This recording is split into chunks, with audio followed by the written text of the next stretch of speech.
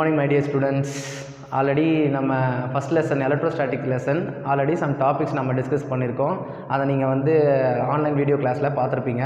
So அதனுடைய continuation தான் electrostatic லெசனோட continuation தான் நம்ம இப்போ என்ன இந்த வீடியோ கிளாஸ்லேயும் பார்க்க போகிறோம் so today we are going to discuss about this five topics so first topic என்னென்னு பார்த்தீங்கன்னா electric field lines and its property இதுதான் ஃபஸ்ட்டு டாப்பிக்காக பார்க்க போகிறோம் தென் செகண்ட் டாபிக் பார்த்திங்கன்னா electric dipole then third topic பார்த்தீங்கன்னா electric dipole moment then fourth question பார்த்தீங்கன்னா axial line so electric field due to an electric dipole at a point on a axial line so இந்த axial line questions one of the important five mark questions ஓகேவா so next topic பார்த்தீங்கன்னா equatorial plane இதுவும் வந்து பார்த்தீங்கன்னா electric field due to an electric dipole at a point on a equatorial planes. So இதுவும் one of the important five mark questions in public exam so either axial line questions or equatorial plane questions நீங்கள் கண்டிப்பாக என்ன பண்ணலாம்? Expect பண்ணலாம்.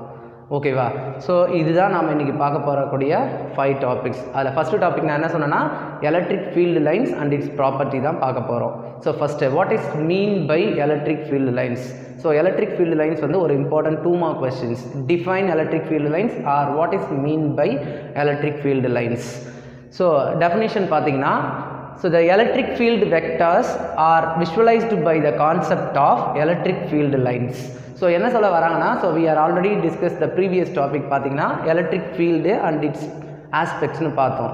So அப்போ electric field vectors are visualised by the concept of electric field lines அப்போ electric field லைன்ஸ்ன்ற concept நமக்கு தெரியணும்னா எலக்ட்ரிக் ஃபீல்டு வெக்டார் கான்செப்ட் தெரியணும். ஸோ அப்போ எலக்ட்ரிக் ஃபீல்டு வெக்டார்ஸ் மூலமாக தான் நம்ம என்ன பண்ண முடியும்னா எலக்ட்ரிக் ஃபீல்டு லைன்ஸை நம்மளால் ட்ரா பண்ண முடியும்.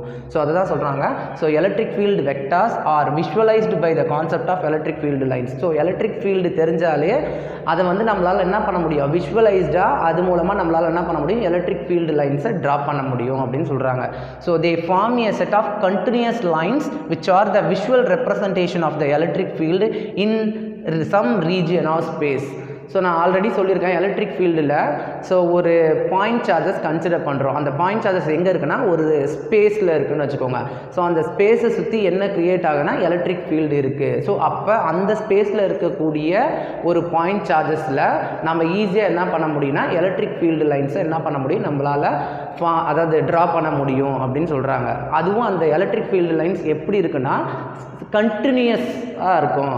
ஸோ நடுவில் நடுவில் என்ன ஆகாது? ஸ்டாப் ஆகாது. ஸோ அந்த எலக்ட்ரிக் ஃபீல்டு லைன்ஸ் ஒரு தடவை நம்ம ட்ரா பண்ண ஆரம்பிச்சோன்னா அது பார்த்திங்கன்னா கண்டினியூஸாகவே இருக்கும். அதனால தான் என்ன சொல்கிறாங்கன்னா they form a set of continuous lines which are the visual representation of the electric field in some region of space அப்போ அந்த எலக்ட்ரிக் ஃபீல்டு லைன்ஸை நம்ம வந்து ஃபார்ம் பண்ணணும்னா அந்த ஸ்பேஸில் ஒரு சார்ஜ் பார்ட்டிக்கல் இருக்கணும். அந்த சார்ஜ் பார்ட்டிக்கலை சுற்றி அந்த எலக்ட்ரிக் ஃபீல்டு கிரியேட் ஆகும். அந்த எலக்ட்ரிக் ஃபீல்டு கிரியேட் ஆனாலே அது மூலமாக நம்மளால் என்ன பண்ண முடியும்?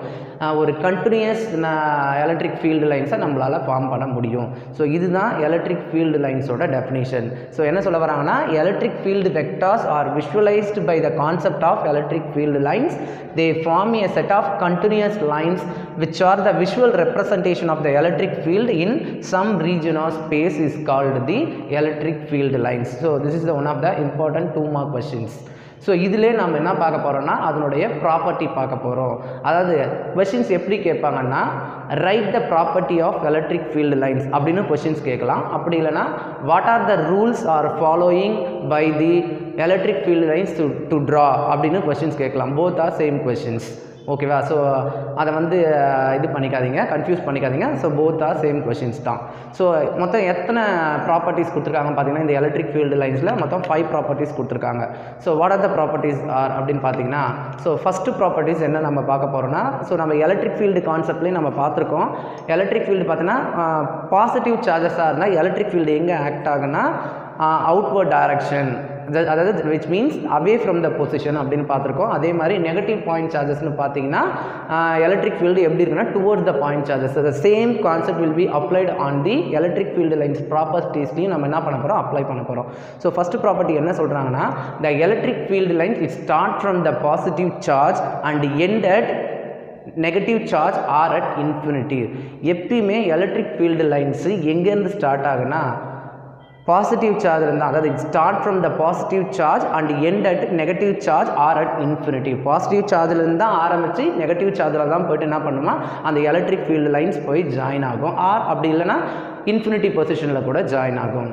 ஸோ இதில் என்ன பண்ணுறாங்க இன்னொரு கண்டினியூவேஷன் சொல்கிறாங்க எங்கேருந்து ஸ்டார்ட் ஆகுது? It start from the positive charge and end at infinite end at negative charge or infinity பாயிண்டில் போய் ஜாயின் ஆகுது.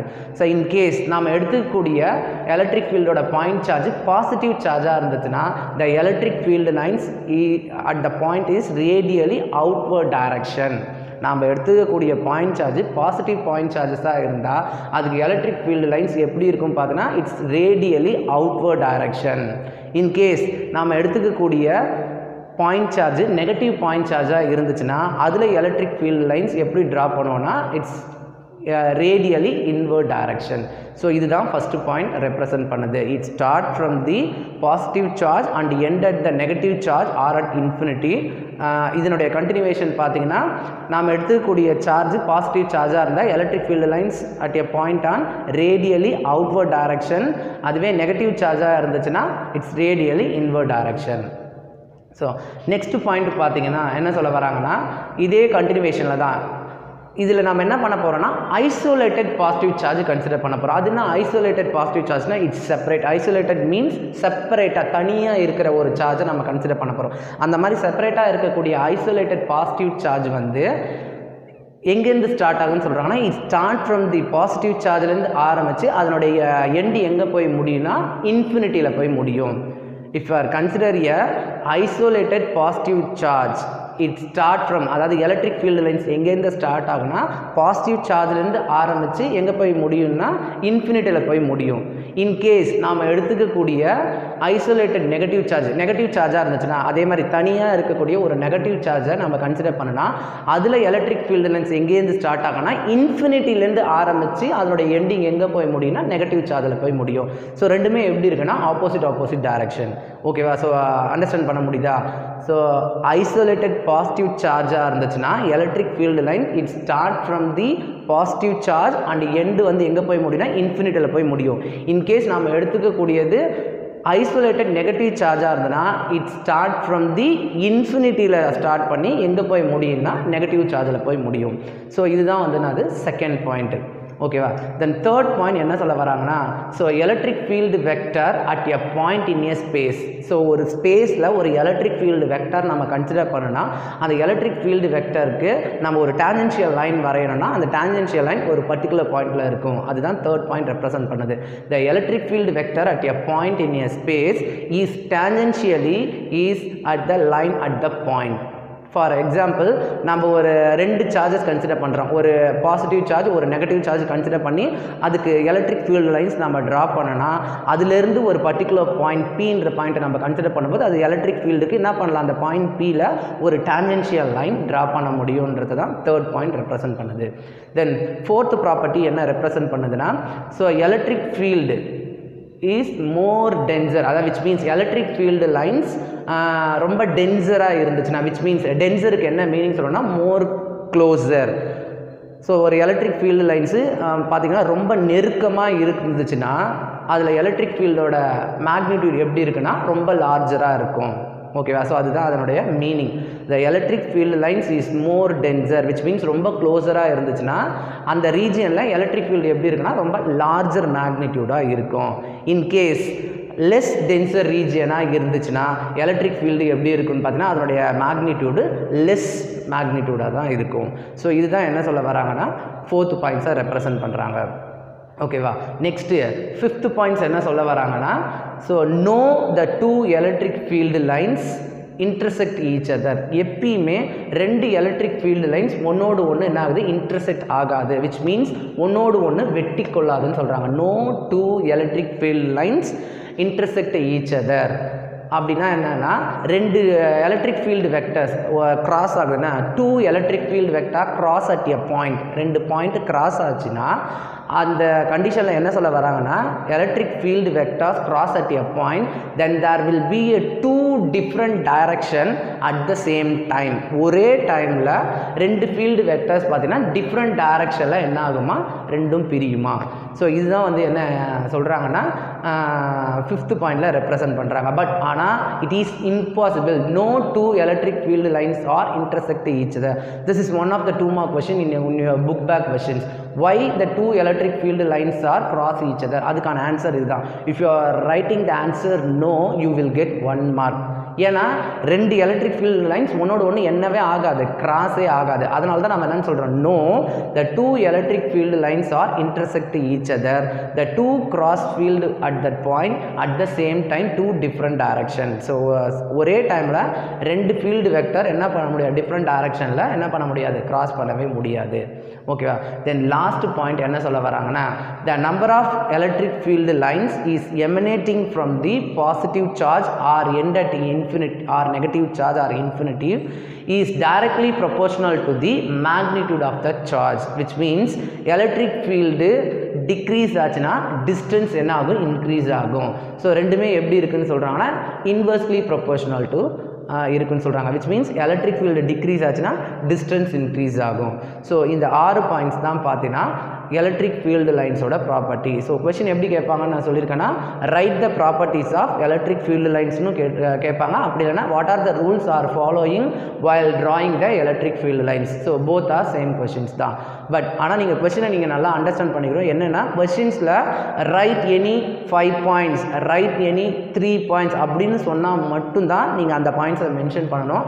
அதர்வைஸ் நீங்கள் எல்லா பாயிண்ட்ஸ் தான் எழுதி ஆகணும். எல்லா பாயிண்ட்ஸும் எழுதினா தான் you will get full marks ஓகேவா ஸோ இதுதான் பார்த்தீங்கன்னா எலக்ட்ரிக் ஃபீல்டு லைன்ஸ்னால் என்ன? அதனுடைய ப்ராப்பர்ட்டிஸ்ன்றத நம்ம பார்த்துட்டோம் நெக்ஸ்ட் டாபிக் பார்த்தீங்கன்னா electric dipole so this is one of the important two mark questions so what is mean by electric dipole so definition பார்ப்போம் two equal and opposite charges separated by a small distance constitute and electric dipole this is the definition for electric dipole so ரொம்ப ரொம்ப ரொம்ப important two mark questions அடிக்கடி பப்ளிக்கில் கேட்கக்கூடிய ஒரு one of the two mark question so two equal and opposite charges separated by a small distance constitute and electric dipole so எப்பயுமே இந்த questions கேட்டாங்கன்னா define electric dipole what are the example அப்படின்னு தான் questions கேட்பாங்க. So இந்த electric டைபோலுக்கு example என்னன்னு பார்த்தீங்கன்னா carbon monoxide water and ammonia and then HCl so etcetera so நிறையா இருக்குது அதில் நம்ம எக்ஸாம்பிளாக எது எதெல்லாம் கன்சிடர் பண்ணுறோன்னா carbon monoxide CO and water H two O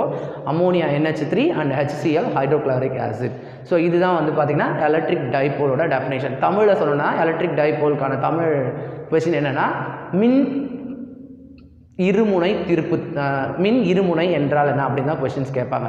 so நீ இங்கிலீஷில் படிக்கும்போது தயவு செஞ்சு தமிழ்லையும் என்ன பண்ணிக்கோ பார்த்துக்கோ ஏன்னா பப்ளிக் கொஷின் பேப்பரில் ரெண்டுத்துலேயும் தான் கேட்குறாங்க. சம்டைம்ஸ் இது இது பண்ணலாம் இது கொஞ்சம் தெரிஞ்சுக்கிறது நல்லது. ஓகேவா ஸோ அப்போ எலக்ட்ரிக் டைபோலோட தமிழ் மீனிங் என்னென்னா மின் இருமுனை. ஓகேவா ஸோ நெக்ஸ்ட் டாபிக் பார்த்தீங்கன்னா எலக்ட்ரிக் எலக்ட்ரிக் டைபோல் மூமெண்ட்னா பார்க்க போகிறோம் ஓகேவா so more or less electric டைபோலும் electric dipole மூமெண்ட்டும் ஒரே மீனிங்காக தான் இருக்கும். ஓகேவா ஸோ தமிழ் என்ன சொன்னால் எலக்ட்ரிக் டைபோல்னா மின் இருமுனை.